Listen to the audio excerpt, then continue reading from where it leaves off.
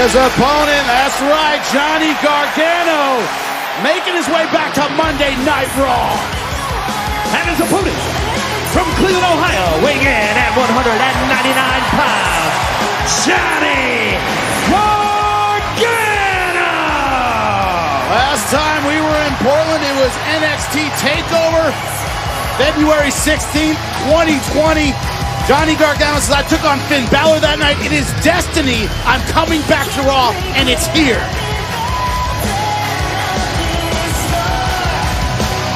Well, I had a chance to catch up with Johnny Gargano on my podcast after the bell this week, and my biggest takeaway was the passion.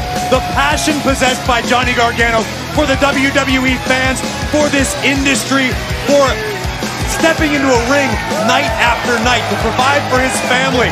And Johnny said, listen, I know people are betting on me to fail. I know people think I'm too small.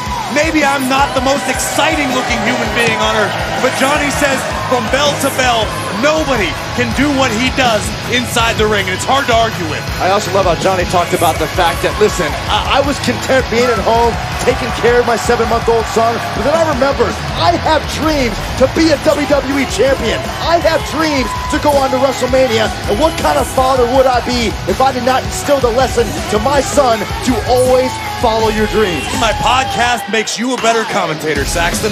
I didn't need your help at all. Actually,